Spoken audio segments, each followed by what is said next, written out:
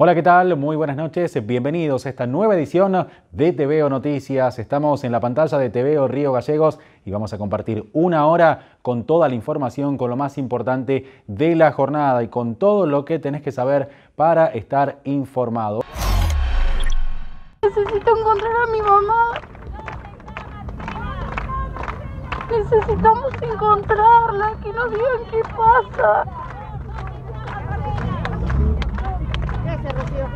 Esto va más allá de lo político. Yo sé que hoy se está mirando de otra forma. Todos los sectores que pueden quitar horas de su consultorio este, son los este, comprometidos en esta medida. ¿Qué ocurre cuando alguien se jubila con este recibo de sueldo que tienen al día de la fecha, doctora? Tiene que seguir trabajando. El motivo de nuestra presencia hoy es un reclamo de los trabajadores de acá de 5M, 5M Patagonia y de los álamos del Calafate, que se viene haciendo un reclamo de un aguinaldo del 2020. Esquina de las calles eh, Teófilo de Loqui y Alcorta, 10 y media de la mañana en la ciudad de Río Gallegos y en todo el país. El equipo de TVO Noticias eh, llegó hasta este lugar tras el aviso de varios vecinos que con gran preocupación presenciaron nuevamente fuertes disturbios y agresiones con personas heridas e importantes daños materiales en este sector. Seguimos con la lucha desde febrero con temas de los trabajos, las ayudas, eh, continuamente el castigo del manoseo y la falta de respeto, de que mm, nos dan el trabajo, después nos quitan. Estamos movilizando dentro de una jornada nacional donde los movimientos sociales salimos a la calle para pedir, eh, para pedir que se empiecen a solucionar los problemas de la sociedad. Eh, dentro del marco provincial estamos marchando en las localidades de Caleta Olivia, de Truncado de las Heras.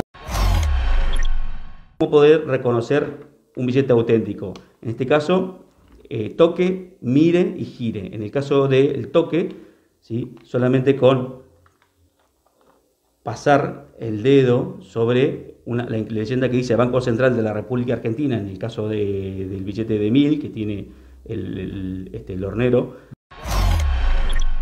Nosotros lo que necesitamos es seguir eh, demostrándole a la gente que vamos por una ciudad moderna, una ciudad capital, una ciudad que pueda contener a todo, una ciudad que esté limpia, una ciudad que sea segura, una ciudad que sea ordenada, una ciudad que pueda contener a nuestros viejos, que pueda contener a nuestros jóvenes, que pueda contener a nuestros chicos. Y un tema que no podemos dejar de lado es lo que, bueno, que está eh, pasando con nuestra vecina Marcela López, que ha desaparecido, que indudablemente uno de los planteos que hice en la sesión anterior es que no se activaron los protocolos, por ejemplo, sobre femicidio en el caso este, ¿no? Vamos a estar presentando eh, proyectos que tienen que ver con la inclusión, con la educación, pero sobre todo con el compromiso eh, que es el lenguaje de señas. Es una jornada especial, nosotros como comunidad buscamos siempre trabajar por el bien común y yo creo que mm, lo que nos permite estas elecciones es eh, participar y seguir construyendo y fortaleciendo nuestra democracia.